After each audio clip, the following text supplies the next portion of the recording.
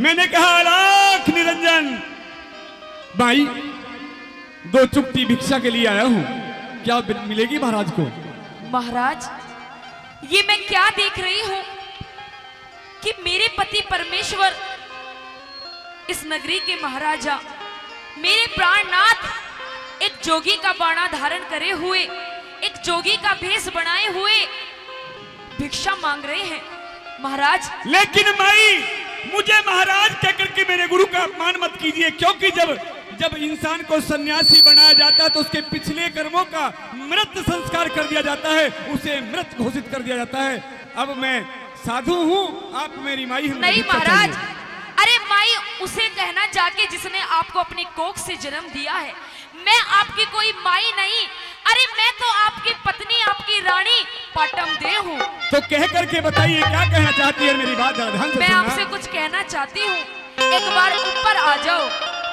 कह करके बताइए क्योंकि रंग महल के अंदर सन्यासी का प्रवेश बिल्कुल वर्जित होता है। आप जो कहना दरवाजे से भिक्षा देनी तो बाहर आ जाइए। एक बार ऊपर आ जाइए। मुझे भिक्षा चाहिए। आप कहिए क्या कहना चाहती हैं? भिक्षा भी दे दूँगी महाराज। जोगी का बेस तो आपने बना ही लिया। तो कह करके बताइए महारानी। मेरी बात सुन लीजिए।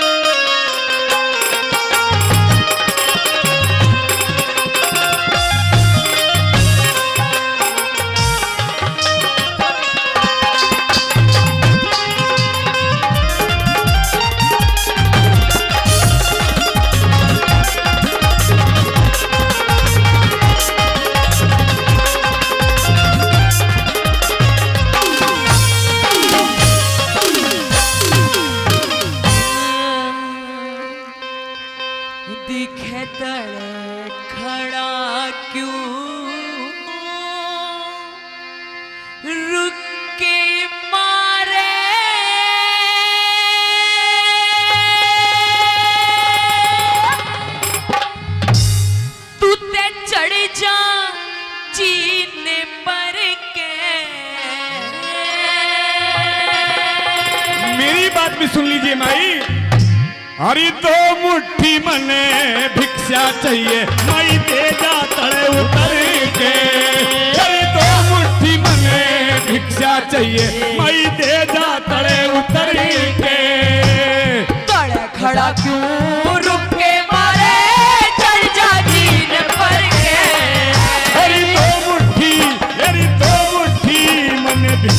चाहिए। माई दे तड़े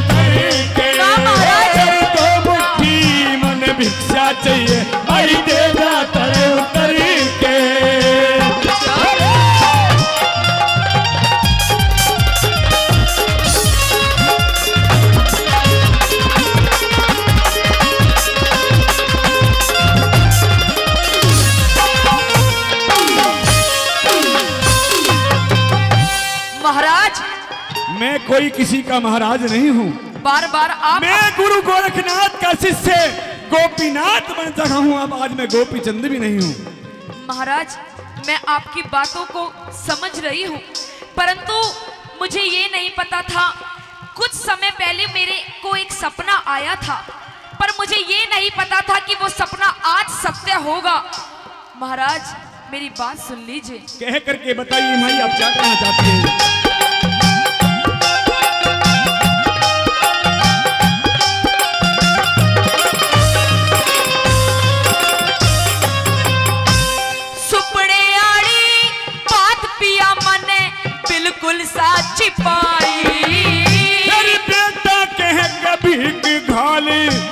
जोग सफल हो री माई जोग सफल हो माई। बेटा क्यों कर कहूँ तने तू सगी ननद का भाई? उनने कौन भूल बिसर दे छोड़ पहलनी राही छोड़ पहलनी राही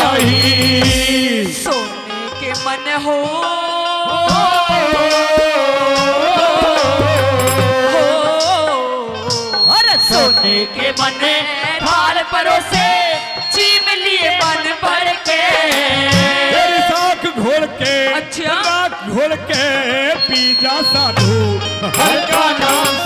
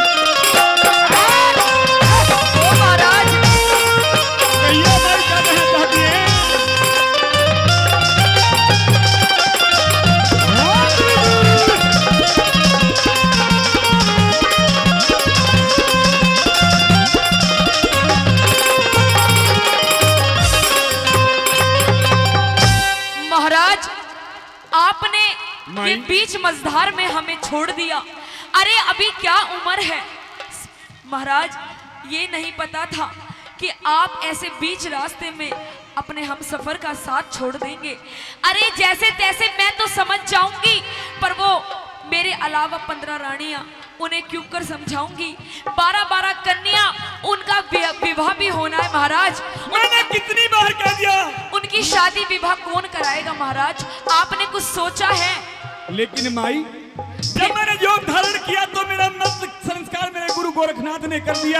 आज मैं उनका शिष्य हरि भजन में लीन हूँ। आज मेरी न कोई रानी है न कोई बच्चा है। आप कहिए क्या कहना चाहते हैं महाराज जब तो आपने एक नहीं दो नहीं सोलह सोलह शादियाँ रचाई और आज अपनी माँ के कहने के आप जोगी बन गए। मैं मानती हूँ पर आपका हमारे प्रति भी कुछ कर्तव्य है महाराज। मेरी बात सुन लीजिए सुन लीजिए।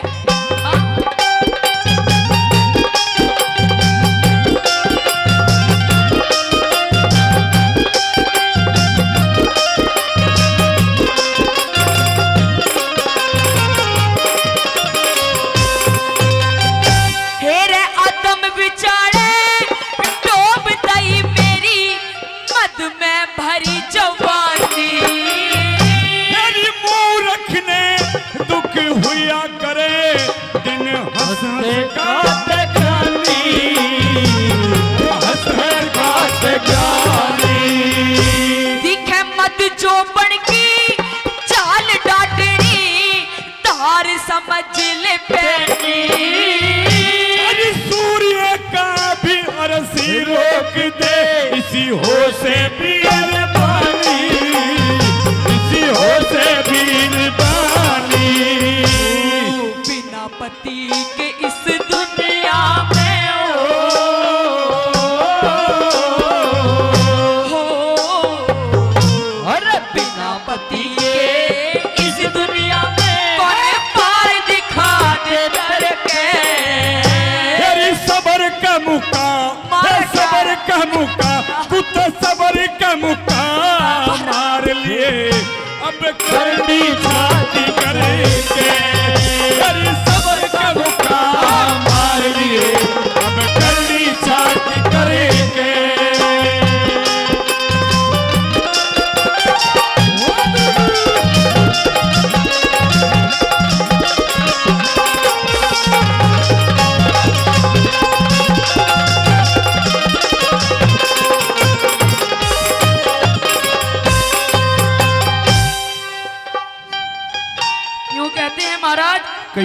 मुझे महाराज मत कहिए मैं कितनी बार आपसे कह चुका हूँ कि आपका मेरा रिश्ता जिस दिन मैं गोरखनाथ के धूने पर गया था उस दिन खत्म हो चुका था। मैंने कह दिया कि जब इंसान को साधु बनाया जाता है तो उसके पिछले जन्म का मृत संस्कार कर दिया जाता है।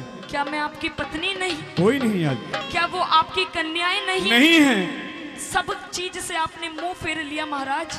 आज मैं सांसारिक मोह माया से बहुत दूर जा चुका हूँ। मुझे फिर से इस जंजाल में मत भटकाइए। अपनी बात को जरा ध्यान तो से मेरी बात सुन लीजिए।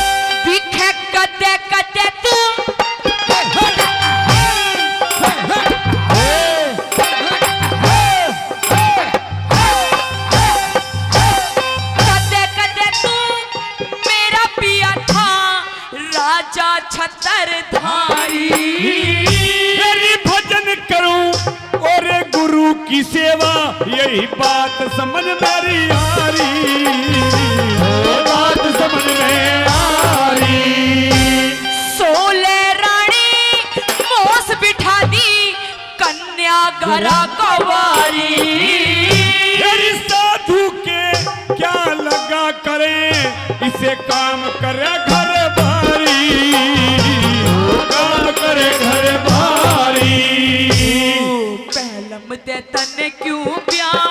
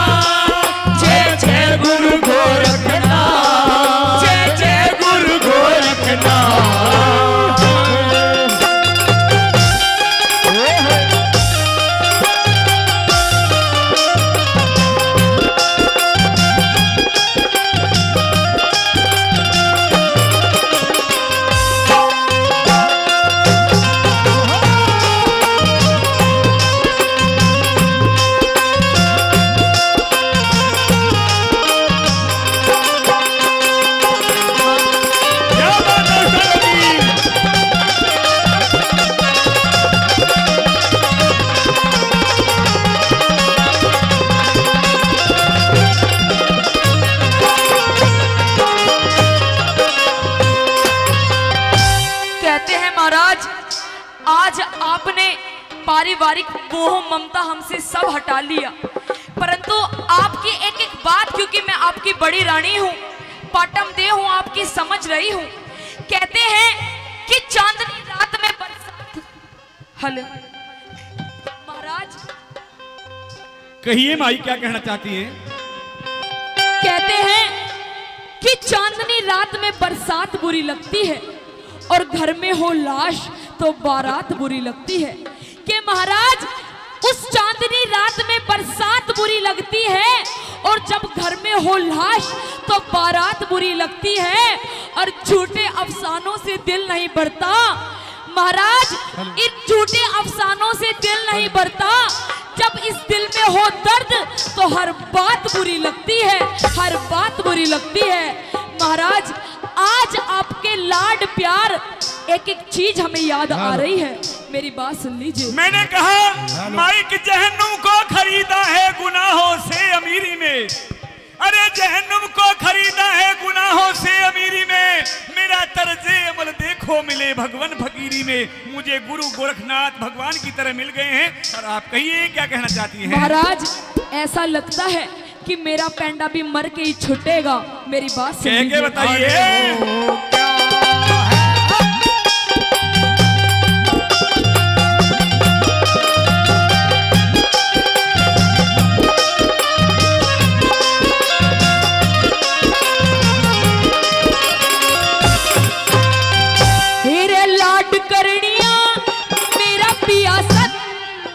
का दास हो लिया। सत्संग का पूरा अभ्यास हो लिया पूरा अभ्यास हो लिया। तेरे बिना इस धर नगरी का सत्यानाश हो लिया। अरे जगन्नाथ अपने सतगुरु का अज चेला खास हो लिया। चेला खास हो लिया।